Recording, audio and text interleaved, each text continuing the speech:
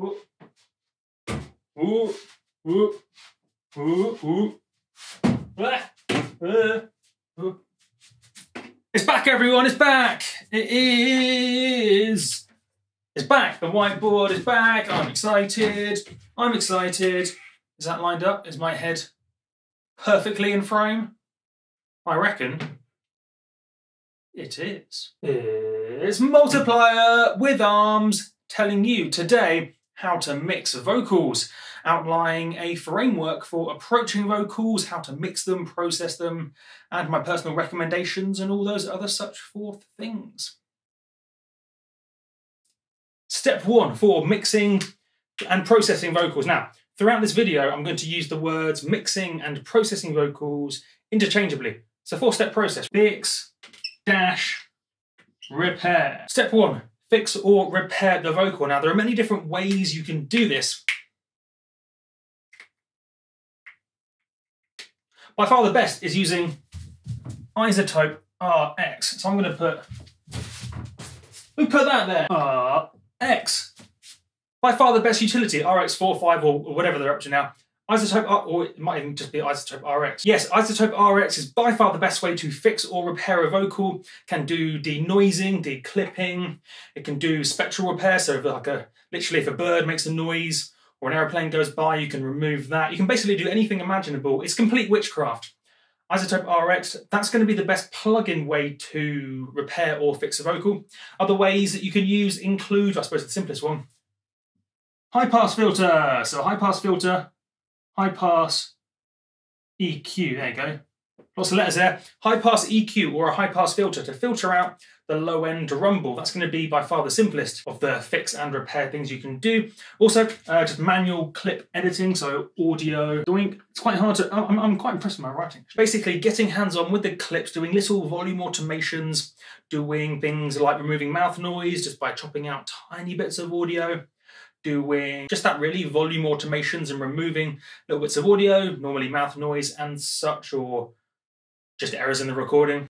Also, gates, I suppose, you could include. I mean, stuff like gates you could include in the iZotope RX, but not everyone has iZotope RX. It can be quite expensive, but it's very good. But yes, you can use a gate to basically remove background noise, bleed, or, or leak from other instruments in the recording. Look up gates. It can be a bit of a crude solution to remove background noise and to repair or fix a bit of audio, but it's something that includes that is included in pretty much every DAW, and it's a standard approach for vocals, processing, mixing. Step one. Step two, we're making progress, we're making progress. Right, step two, I must, must plan so I don't run out of space here. So step two, dynamics, and I'll do a little arrow. And then Oh no, that's an awful one.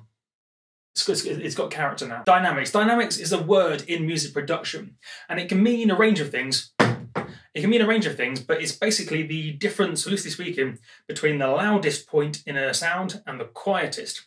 So if a bit of audio has a big dynamic range, then there'll be a big difference between the loudest sounds and the quietest ones. Whereas if it has a small dynamic range, there'll be only a small difference between the loudest sounds and the quietest. And in the case of vocals, a natural human, oh, in the case of humans, we talk naturally in a very dynamic way. At least when you compare it to, say, dance music with a super saw going or a bass line going. So what you need to do is take a real life recording of a vocal, such as this one, which is very dynamic. You can see there's a big difference between the loudest sounds and the quietest. And then you need to use a dynamics shaper, normally a compressor, to decrease this dynamic range to make it look a bit like this.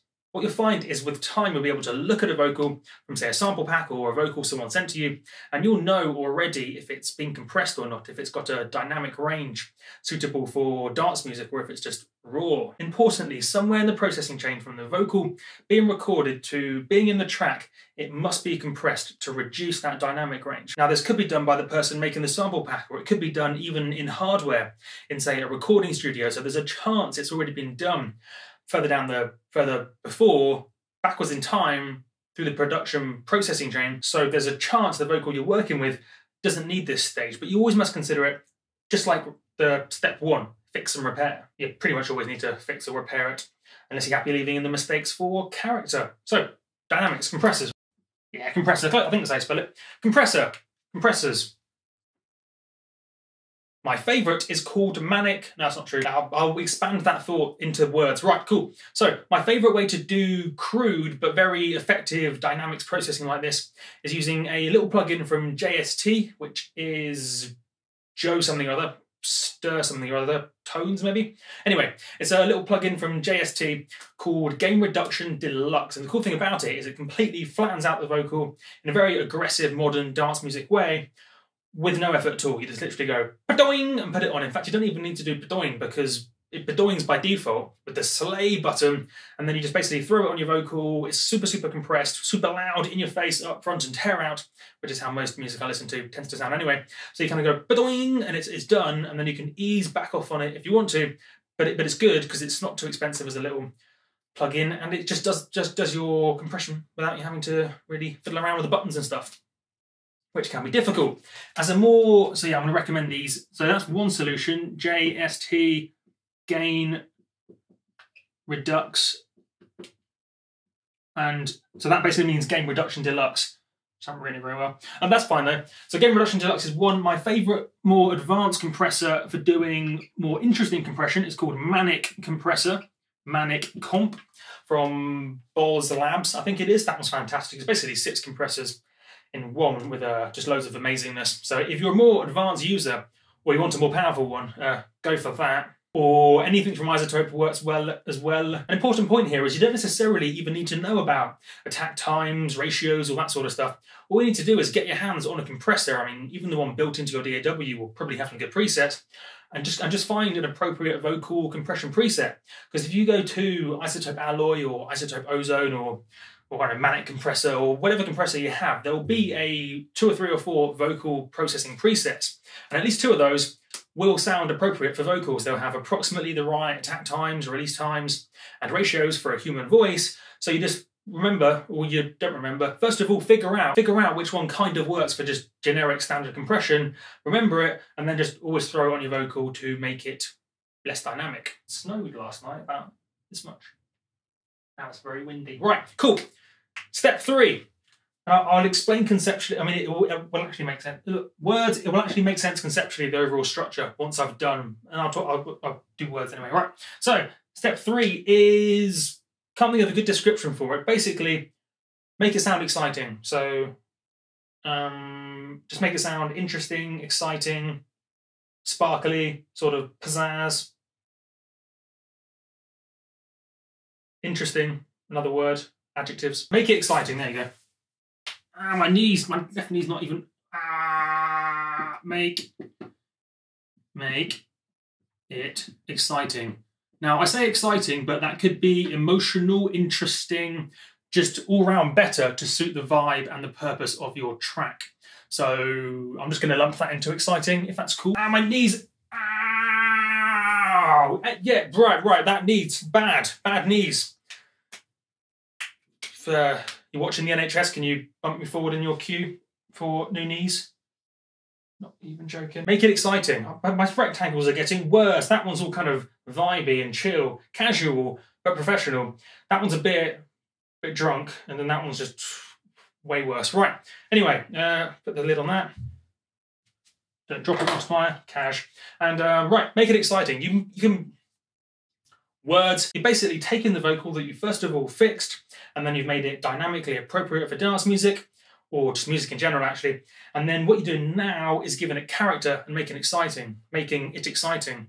So that could be in the form of EQ to give it a bit of sort of tone and personality. It could be a crazy reverb, it could be a normal reverb, a delay, a bit crusher, literally anything at all. Anything at all, anything at all, anything at all, anything at all. I'm gonna I'm just going to write anything at all. Any effects go nuts. Go crazy. Make it, after just repeating that, make it sound great. Yeah, you, you be you, right. Make it sound great. EQ, um, distort, plugins, etc. You get the idea. It's literally, I'm not exaggerating, anything at all. Ah, my knees. Ah, that was horrific. Don't focus on those necessarily. Um, Actually, they are quite useful. But yeah, I mean, you can use uh, anything at all. In fact, I've got a recommendation for you called Vocal Synth. That is a great way to make a vocal interesting and or exciting. Vocal Synth from iZotope. It's fantastic. Yeah, you can read that. It's a great way, just about, it's a great way to make a vocal interesting and exciting beyond your normal EQs and stuff. I mean, to be honest, just literally go on Plugin Boutique or no, go on there. This is the stage that you make it sound great. Make it sound great. Go nuts. Four. Right. Next. Next. Next. Ow. Right. I, I can do this. Don't.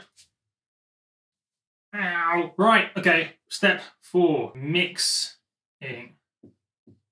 Oh, look at that. The secret's to go down and then reference a, a good rectangle. I know you're thinking. I know what you're thinking. You're thinking multiplier. You're doing a video on how to mix or how to do mixing for vocals how is one of the things you do just the name of the thing you're trying to do? It's like Inception or something.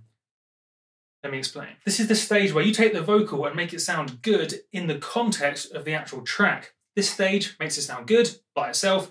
This stage makes it sound good in the context of the track. I'll say it again. Step three is making it sound great by itself. Step four is making it sound great in the context of the whole track. Normally, the vocal is the most important part of the track. Take any given track, and chances are you remember the vocal. You're listening to the vocal. It's the most important part. And therefore, you mix everything else around the vocal. Again, it's really important. One of the biggest mistakes I see when mixing from newer producers. The vocal is almost always the most important part of the track. If it's not the most important, it might sometimes be the equal most important. So there are some situations where maybe the vocal and the synth are equally important, but the vocal will never be less important than something else, ever. And so, if the vocal is the most important part of the track, and therefore you're mixing everything else around the vocal, you need to do pretty much nothing at this stage. In other words, the vocal is the most important part of most tracks. So you make it sound as good as possible, which is step three, and then you make sure you don't ruin it at step four, when you then mix it together with the other elements in the track. As I say, sometimes the vocal will be the most important part of a track alongside a synth. So let's say you have a, a vocal and a synth, and those two things together are the most important bit. Then what you do is you get the vocal to work with the synth, and then you get everything else to work around that. Solo the vocal, solo the synth, make that relationship work, and then build everything else around that. But multiply, but multiply, but multiply. You keep talking about building stuff around other things like slot a synth around a vocal or take a sound effect and put it around a vocal. What are you on about? How do you do that? Let me explain. Right. So, what you do Nailed it. Right. I'm, I'm, I'm going to sit down for this because I'm quite low. Get low, low with the whistle blow. Songs, culture. Right. So you use a few standard tools. EQ and also stereo imaging. So stereo imaging. Stereo imaging, right. I'm gonna I'm gonna stand up for this. Right. Oh, got up, knees didn't hurt too much that time. Brilliant, nailed it.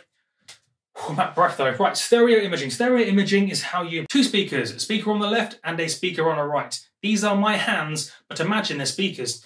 You have two sources of, of, of words, information in your songs, in your music you're making. You have a left channel and you have a right channel. And when you have a left channel and a right channel blasted into your eardrums through headphones or speakers, then what that does is it creates almost like a 3D space in your brain because your brain takes two sources of information like your ears, and then imagines a 3D world. That's what stereo imaging is. It's the construction and manipulation of this 3D space of sound you're imagining. Brilliant panning, unison, stereo filter offset. I'm gonna write down. Well, lost my pen. Oh, it's on the chair. Right. I'm. Ah, my knees again. What's wrong with my knees so much? Right. Uh, this is a part of stereo imaging, but I'm going to put a, a separate dash here. So panning, so pan, unison, stereo filter offset. I can't write that, that's crazy long. Going for it. Stereo filter, offset, the pan control in Serum is brilliant. My approach to stereo imaging is try to get it right at the natural stage. These, in my brain at least, the way that my brain works, are natural ways to get stereo width. It sounds natural. Whereas, I'm on this side for the whereas, Whereas using tools like mid-side EQ and using a stereo imager, even though such as the uh, one in uh, Ozone, for example, even though they're normally pretty amazing, it's always more crude to use a stereo imager or a mid-side EQ than using natural stereo imaging things.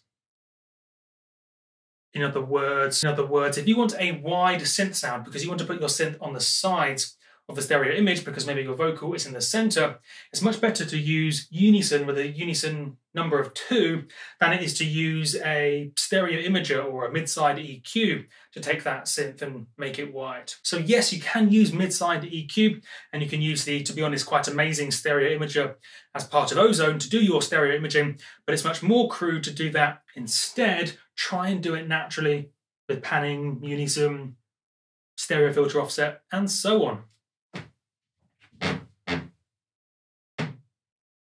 Remember, you can make a sound wide by having a unison number of two. Unison isn't all about super big super saws with a unison number of 7 and 15. You can use two.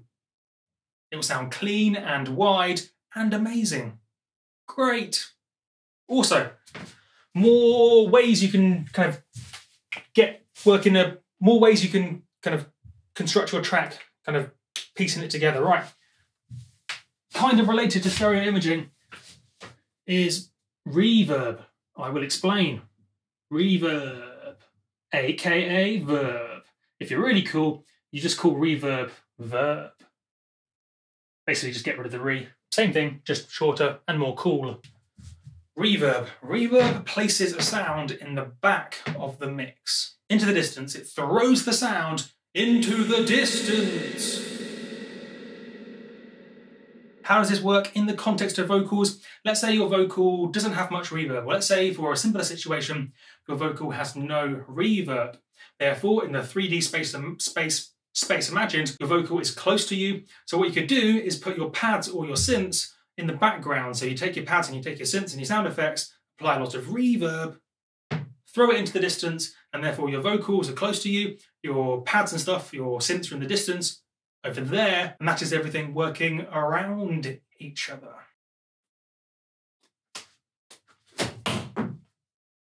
Bloody useless. So this is the basic four-step structure, which you can use regardless of the type of vocal you're working with, the type of genre, the type of music, the tools you have available. If you apply this structure using your brain, you will do great. It's a logical structure, right? Take your sound, fix it, repair it, then make it less dynamic so you can work with it properly in the context of dance music. And then you make it exciting, so you make it sound as good as possible by itself, and then you mix it in with the rest of the track. There's a bonus though. To use some magic and sparkles and fun and colours to show you the final step though, which is more of a, it's not really, I mean, this is a logical four step process here, but this additional thing to consider is very, very important. In fact, it's maybe the most important step, depending on how you define most important. And it kind of sits alongside everything, but also separate to everything, but also with everything in some, some sort of mega, sort of brilliant package sort of deal universe. Um, let me write it down. Smooth multiplier, smooth creativity slash feel. This is really important. That's why I'm going to do exciting uh, border. It's going well, it's going well. Purple. Got purple on me. Useless. Creativity slash feel. I'm going to underline it as well. And also do a smiley face because that's also important. Right, let me explain. Well, I got well that time. Knees, you're doing well. Right. Creativity slash feel. The idea behind me writing that down, creativity slash feel, is while this is a very effective structure, it's a very effective way to approach vocals, a huge part of making music and also a huge part of mixing and engineering and processing is, is, is just how you feel. And creativity and sort of vibe, emotion, energy, excitement, aggression. Remember, we are writing music. We are writing music that makes us feel something, whether that, yeah, or that, oh, yeah, or whether that's, yeah, or whether that's all sorts of yeahs. If you feel like doing something crazy that doesn't really make sense in this context, do it. I'm going to give you an example. This stage of dynamics you would properly do with a compressor. What you could do is use a distortion effect. Sometimes you might not want to fix a vocal. Whoa! Imperfections can give something character and make it sound real. If you take all the imperfections out of a vocal, it can sometimes sound a bit too perfect, a bit too polished, and a bit too sort of good, if you know what I mean. Also, breaking the rules, breaking the rules. What could you do to break the rules using creativity and feel and so on? Traditionally, you wouldn't want to send all your instruments or even the entire track through a reverb. What you're supposed to do is pick one or two of the most important things, or not the most important, you pick one or two things you want with a big reverb, you place those into a reverb, and then you leave everything else dry. But what you could do, what you could do, what you could do, that didn't work at all as a surprise. What you could do is put a reverb on the master channel. It's crazy. People used to do it a little bit in the olden days. They pretty much never do it now, but you could do to be creative, just as an idea. It's not technically correct as much as technically as a thing in dance music. So yes, you shouldn't really in normal situations apply, oh, the sun's coming out. You shouldn't normally apply reverb on the master channel to everything, especially not really wet. But you never know, it could sound cool, it could sound creative if you did so. That would be an example that I don't necessarily recommend, but you could do it, breaking the rules, in the spirit of making interesting, good, and exciting music. Remember, Remember, we are making music. We are making music, not perfectly engineered dance tracks. There's a difference. That is it, people. That is a look at how to mix the vocals, processing vocals, all the same sort of thing. How to approach taking a vocal and doing stuff with it. With multiplier. Bumped into it with multiplier. Multiplier with arms and a head.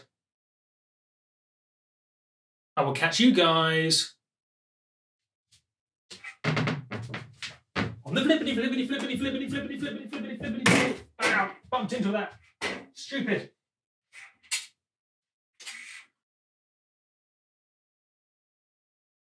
Need a pen. Now, what colour do I choose today? Two colours green and black. Right. Door open, door closed door. Leave open, it's fine.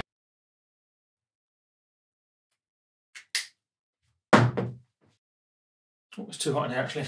Oh, just turn the heating off. It's too hot in here, too hot in here. Turn the heating up too high. Classic multiplier. Right. Step one.